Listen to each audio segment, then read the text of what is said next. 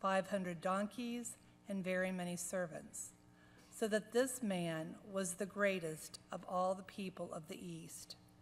His sons used to go and hold feasts in one another's houses in turn, and they would send and invite their three sisters to eat and drink with them.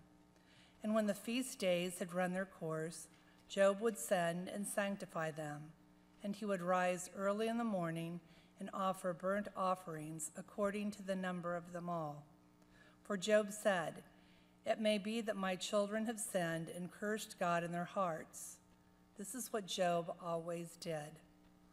One day the heavenly beings came to present themselves before the Lord, and Satan also came among them. The Lord said to Satan, Where have you come from?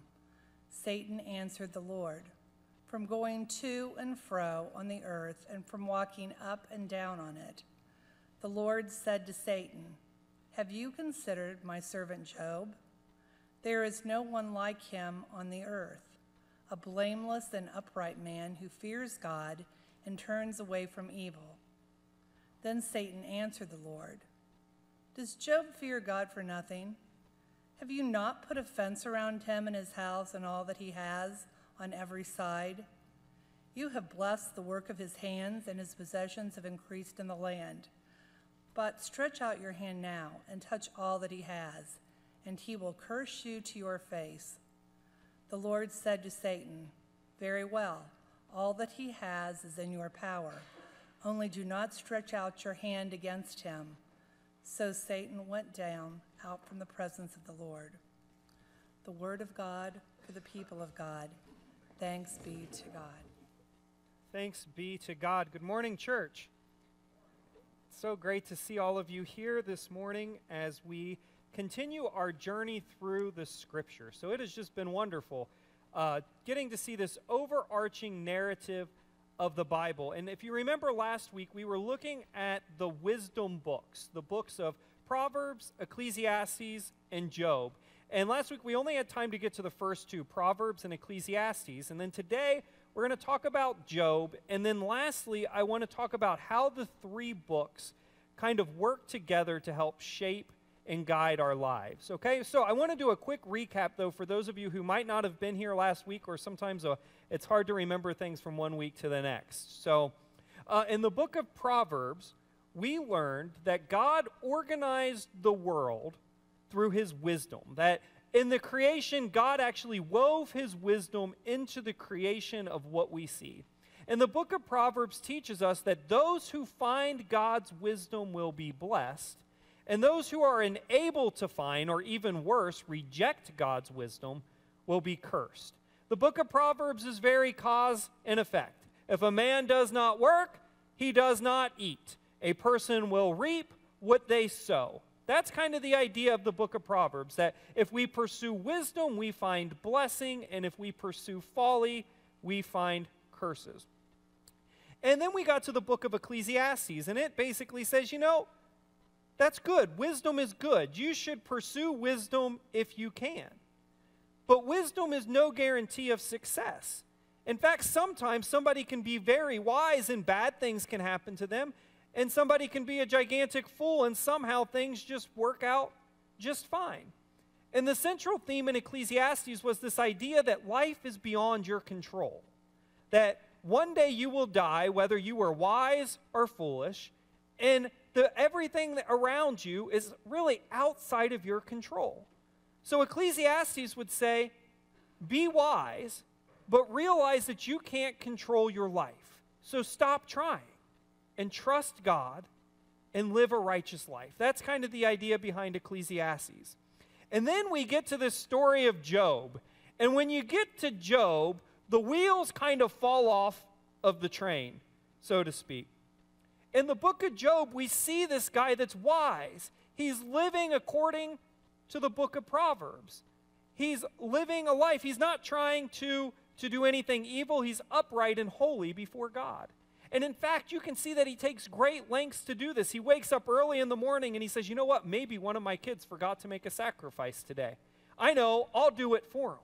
And so he tried to live this holy and righteous life. And if you've just got done reading the book of Proverbs, you'd think, well, no wonder it's going well for him. He's a holy and just man. But then all of a sudden, we get to this scene where God is up in heaven with this figure called the Satan. And I want to be very clear up to this point in the Bible, we don't have this idea of the devil yet, like we have with the devil and Jesus in the wilderness. That thought process hasn't been developed up to this point in the story. So, to the original readers of Job, the Satan would have been seen much like a prosecuting attorney. His job was to go to and fro throughout the earth and accuse people of their wrongs. That's kind of the general idea of it. And so the Satan goes up and he's meeting with God, and God says, Hey, Satan, have you considered my servant Job? You know, there's nobody else in all of the earth that's like him. He's more righteous than anybody else that I know. And Satan goes, Well, of course he is, because you've given him everything. You've put a fence around his house. He'd be an idiot not to serve you because he gets up early and sacrifices for his kids and he does all of this stuff. You've given him all this cattle and you've given him all of this other these other things. Of course, he's going to serve you, but if you take, take those things away, he'll curse you to your face. And that's a key I'm going to come back to in a second. But to bring this kind of up into the American culture, what, what the Satan would basically be saying today is, of course they serve you. It's the prosperity gospel. They're going to serve you as long as they think that they can get something out of it. I call it the blab it and grab it philosophy. You go to some churches and they say, you just speak it into being and you pray for it long enough and God will give it to you. It's all about material possessions, it's all about God blessing us with wealth. And you've probably heard some of these sermons before if you've been in the church long enough.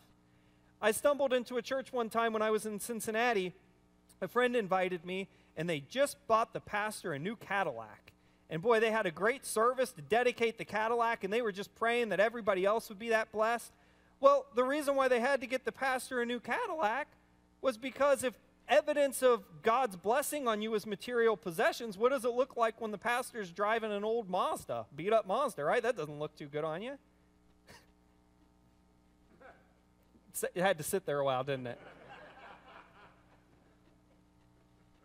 but we know that our blessings doesn't come through our material possessions. And so the Satan is saying, of course, Job's serving you. You could follow the book of Proverbs just to get the blessings and never love God to begin with. And so he says, as soon as you take the prosperity away, Job will curse you to your face.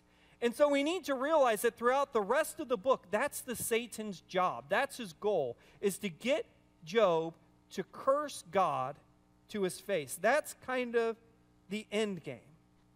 And so God agrees to allow the Satan to come after Job, and all of Job's livestock dies. And so one servant after another, you know, you have those days where everything just seems to be going wrong. Well, that's what happened. The first servant ran in and was like, hey, all your livestock's dead. The next one ran in, hey, your kids are dead. And it was just one after another, after another, after another. And then, when you didn't think it could get any worse, Job came down with a serious illness, boils, and just became really ill. Now, remember, Job doesn't deserve any of this. God himself said so. And yet, here we are, God, Job's world falling apart in spite of him doing everything the right way. And at first, Job is able to praise God even in the midst of the destruction. He says, you know, that basically the good Lord gives and the good Lord takes away. We've heard that before, right? And, and he's able to bless God even in the midst of all of the struggle and the tragedy. And I think sometimes we can do that as Christians. At first, something bad happens, and we're able to go, you know what? I can still praise you in this storm. But when the storm lasts for days and days and days, our own strength starts to run out. And Job, just like us, begins to doubt and he begins to question God. And so things are going really bad for Job. And a few of his friends catch wind that uh, Job's not having a good day. And so they figure, you know, we better go take him some Bob Evans and see if we can get him back up to health. And so they prepare a little potluck and they, t- they go over and they sit down with Job.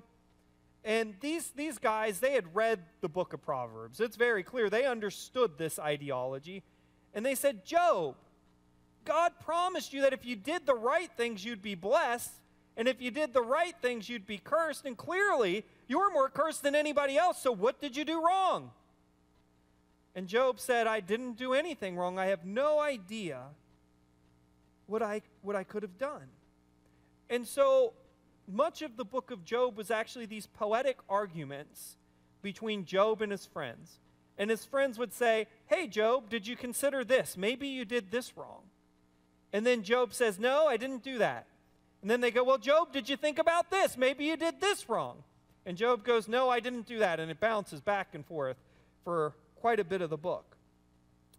And so, in the midst of this dialogue, we see Job going from these periods of great trust in God. There's moments in the book of Job where Job says, I trust God, and I know God's going to get me through this, and I'm keeping my face on God. And then there's other moments in the book of Job where Job is crying out to God, Where are you? I can't see you. Are you still going to be faithful to me? And any of us that have walked the road with Christ know this, right? We get into these seasons that can be so hard, that can be so trying. The darkness can be so deep. And there's moments when we can go, I know that God is going to get me through. I know that God is faithful to me. I'm trusting in God and His Word. And then 15 minutes later, we could be going, God, where are you? Don't you still love me? Aren't you still there? Do you even hear my cry? Did you not hear me 15 minutes ago say that I trusted you? It's the attitude that we have when our faith is being tested. But there's something critical to realize here in all of it, whether it be the greatest joy or the greatest amount of struggle and questioning, Job never took his eyes off of God. His questions were always directed to God. His praise was always directed to God. It was still in the midst. You know, God has broad shoulders. It doesn't bother him in the least when we say, Where are you? What are you doing? Show me your plan in this because I don't understand. He knows that. He knows the hairs on your head. And so Job is going from these periods of great trust to these periods of great doubt. And it seems like right before Job's about ready to snap, God intervenes. By the end of this dialogue, Job starts to accuse God of being unfair. And if you're looking at this from a human wisdom, if you're looking at this from a human point of view, could you really blame him? It does seem a little unfair. Job's doing nothing wrong. In fact, Job's doing everything that God asked him to do. And then God basically points to the Satan and says, Hey, you want to destroy his life? Doesn't seem fair, does it? But yet, that's what this book is about. It's about not relying on our human wisdom. And so, Job demands that God comes and explain himself. Job demands that God would come down and say, Why is all of this unjust stuff happening to me? And God listens. He comes in the form of a great storm. And I want you to listen to what he says to Job in the 38th chapter of the book. He says, Who is this that darkens counsel by my words without knowledge? Gird up your loins like a man, and I will question you, and you shall declare to me. Where were you when I laid the foundations of the earth? Tell me if you have understanding. Who determined its measurements? Surely you know. And God continues in this line of questioning Where were you when I threw the stars into the sky? Where were you when I made the fish in the sea? He asks him all of these questions. Where were you when I was displaying this majestic power? Because throughout the book, Job was asking God the very same question Where are you? And as soon as Job started to cross the line and saying God was unjust, God said, Wait a minute. Where were you at when I literally set this whole thing in motion, when I created you. And then he goes on and he says, Job, you don't understand anything that's happening here. All you really understand is you're one small piece of the puzzle, minuscule as it is. Your viewpoint is so limited, you can't know all that's at play. And then God takes Job on a tour of the universe. He shows Job the inner workings of the cosmos. He shows him how all of creation is woven together. And he goes, Here you go, Job. You want the keys to the kingdom? You think you could run this for even a moment of time? God tells Job that he is able to intimately understand the workings of creation in a way that Job never could. And this humbles Job. And listen to what he says. Then Job answered the Lord, I know that you can do all things and that no purpose of yours can be thwarted. Who is this that hides counsel without knowledge? Therefore I have uttered what I did not understand things too wonderful for me, which I did not know. Hear, and I will speak. I will question you, and you declare to me. I had heard of you by the hearing of the ear, but now my eye sees you. Therefore I despise myself and repent in dust and ashes. Job never learns why he had to suffer. He didn't know why he was feeling the pain that he was feeling in that moment. But Job said something profound. He said, You know, up to this point, God, I've only heard about you. I heard about you in my Sunday school class. I heard about you because the pastor preaches every week. I heard about you. I believed in you. He said, But now I see you. In church, there's a difference. You can sit in here every week and never see God. You can hear about Him. You can think about Him. You can even pray to Him. But you may not ever see Him. And sometimes it's those great struggles in our lives that help us to see the very face of God. And so, even in the midst of the pain, Job didn't know that anything was going to be fixed at this point in the story. He said, God, I may be dying. You may have taken everything from me, but you are God and I am not. And that's the key to wisdom. The key to wisdom is recognizing that we are human beings, limited in scope and limited in knowledge but that we serve the creation, creator of the universe that weaves all things together. But fortunately for Job, this isn't where the book ends.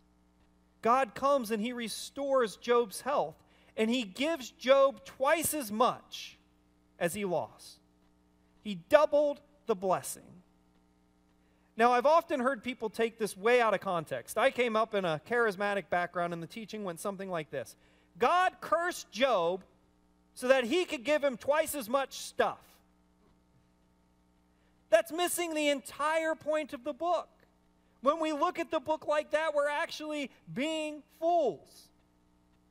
And the reason why people think that way is because as Americans, we're consumeristic and we love our stuff. So, of course, we're going to make it about the stuff. But that's not what this story is about this story is trying to show us the importance of true wisdom.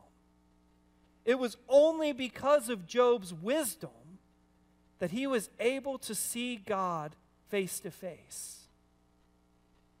If he was a fool, he would have cursed God, just like his wife told him to. Why don't you curse God and die? His wife told him earlier in the book, and he would have listened. But he wasn't. He showed wisdom and he was able to see God. And listen to how the book closes. It says, After this, Job lived 140 years and saw his children and his children's children, four generations. And Job died old and full of days. And the Hebrew word there for full literally means totally satisfied. Job lived and died totally satisfied. There was a difference in Job. If you read Job at the beginning, he's a little neurotic. I better get up really early and make sure I make enough sacrifices so God will be happy with me and bless me. Is that not kind of the attitude of the church? Oh, I just got to do enough that God will be happy with me and bless me. But that's not wisdom. Job, through seeing God face to face, recognized what wisdom is. It's realizing that God is God and he is not.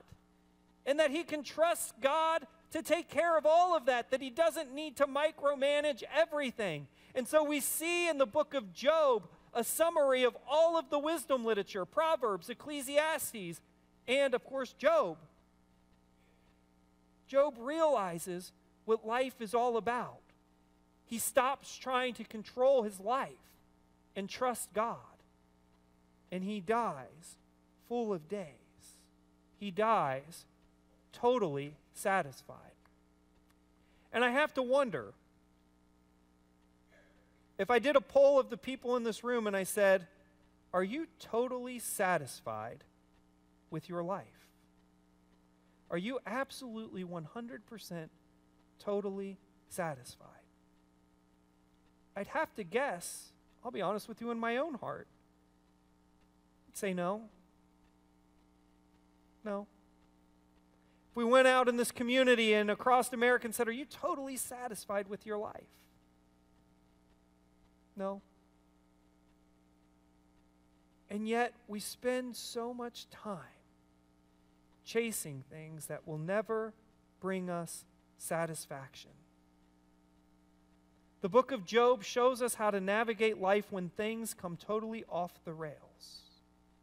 That in the deep trials, we can remember that the God who gave birth to this world will also be with us and sustains us.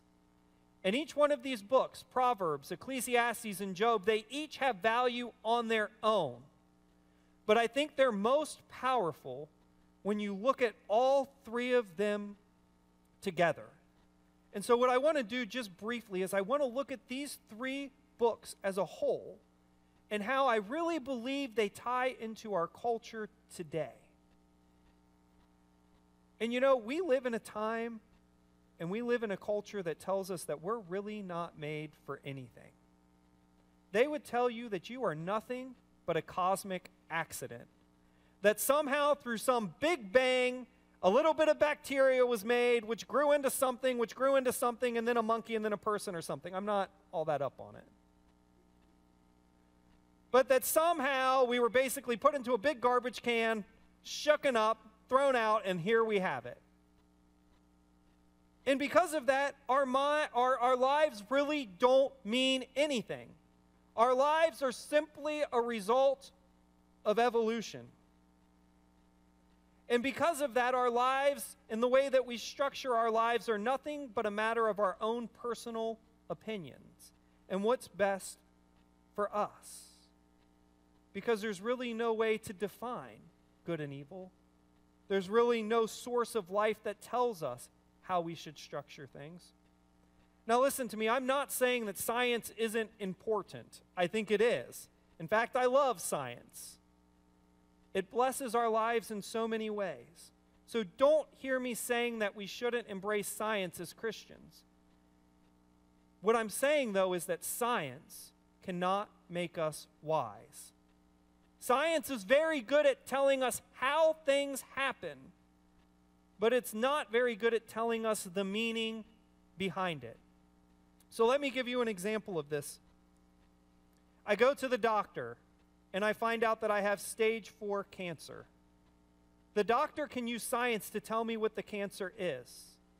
The doctor can use science to try to treat the cancer. The doctor can tell me all of the medical evidence about the cancer that I have.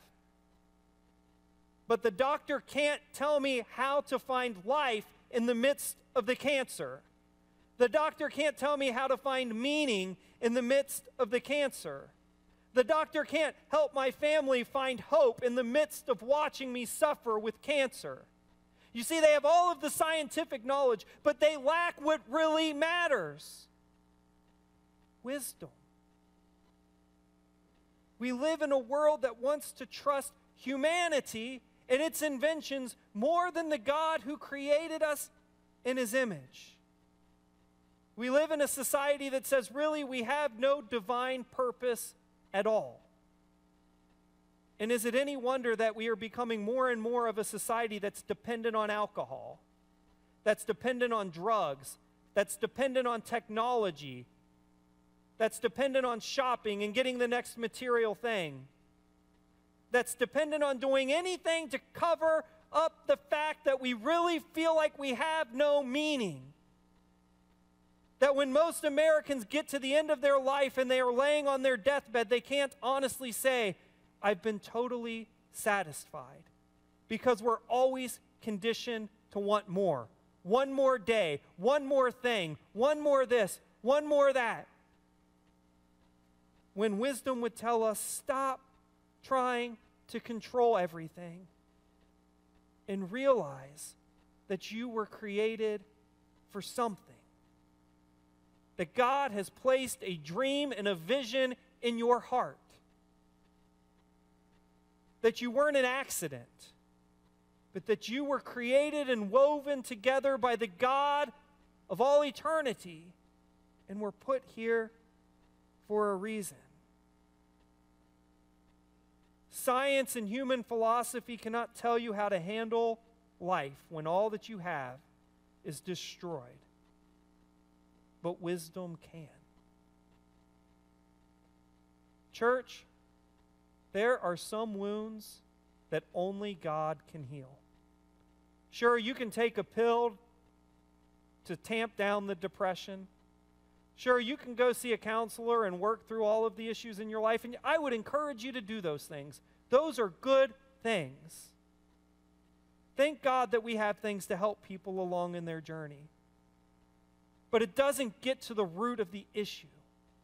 There are some things that only God can heal. There are some fractures in our life that only God can repair and only the wise will see that. Church, we are called to be a people of wisdom, and through our lives, transform the community in the world by living into God's purpose. So let us strive to spend each day seeking God's wisdom and coming together to be that city on a hill where people can come when their lives are falling apart and find a hope that they'll never find anywhere else. Will you pray with me?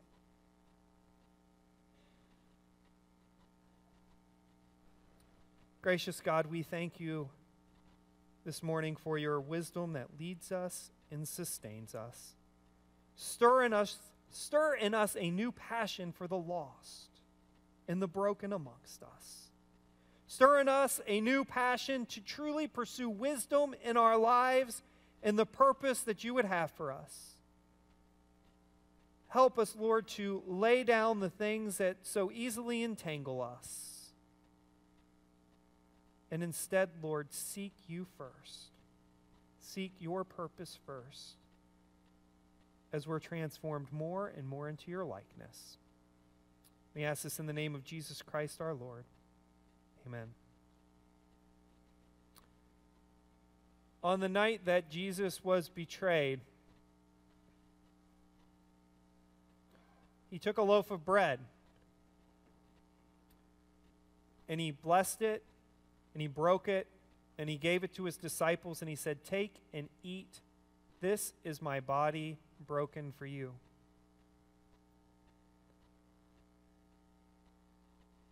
And in the same way, he took the cup. He blessed it and he gave it to his disciples, and he said, Take and drink. This is the blood of my new covenant, shed for you and for many for the forgiveness of sins. Jesus suffered just like Job suffered. He was no stranger to suffering. And yet he laid down his life for us so that together we may live life to the full, so that we can be satisfied. And I'd like to encourage you this morning, church, as you reach out and receive the bread of Christ, as you take that in your hand, at the same time in your spirit, lay down those things that don't truly fill you up, so that your heart is fully ready to receive the bread that can fill you and nourish you beyond your wildest dreams. If we could have our ushers come forward, please.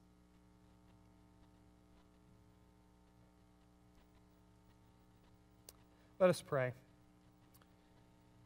Gracious God, we confess that at times we do not live into your call to wisdom. At times we can try to control our lives, and we can try to control the circumstances around us. But Lord, we acknowledge that you are God and we are not, and we repent of those places today. Father, we pray that you would take these elements of bread and cup and make them be for us the body and blood of Christ, so that we may be the body of Christ redeemed by his blood. Fill us with the certain hope of your salvation. We ask this in the name of Jesus Christ our Lord. Amen. Church, this is the body of Christ, broken for you.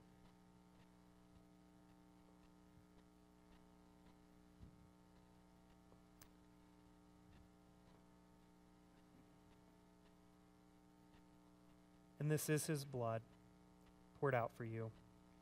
In the United Methodist Church, we have an open communion table. If you have a love of Jesus in your heart, you are welcome to come and feast at this heavenly banquet. Uh, there will be gluten free elements that I'll be serving um, at the table to my left if you have that need. Um, and uh, we'll be taking communion by intinction. So you will be handed a piece of bread and dip it into the juice. Let all who are willing to come come and feast at this heavenly banquet.